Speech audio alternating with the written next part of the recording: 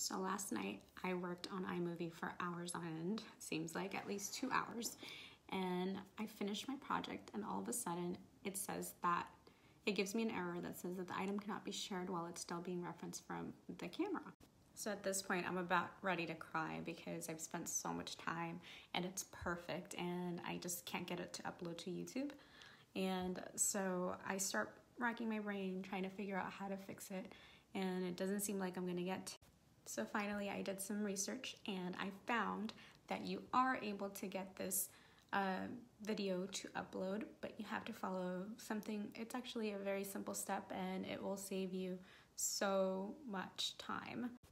You won't have to redo your whole project. You'll just have to follow two simple steps, or I, I can't remember how many, two or three simple steps, but I'll show you so that you don't have to end up working on your project again. So let me show you the error that it gives me so that you can see if it's the same error you're getting.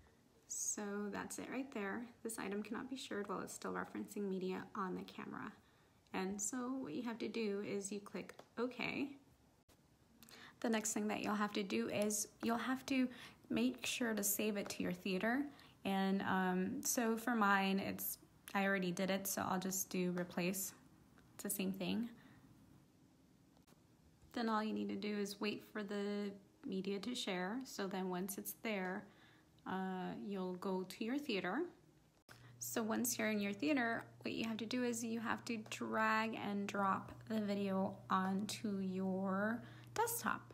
It will appear. I mean, my computer's super slow, and that's the reason why I'm having such a hard time. But once you see your video come up here, what you'll do is you'll click on it and notice how slow my computer is. this is really embarrassing. And you will just, so once you're here, what you'll do is you will hit the share button down here, which is a little boxy looking thing with the arrow pointing up and you'll choose wherever you want to share it to. So let's say I wanted to do it to YouTube, so I did that then you'll just choose the proper information. So you'll put your YouTube name, whatever you want to call your movie, and then hit next and share finally. So you'll be good. So I hope that helped you guys as much as it helped me.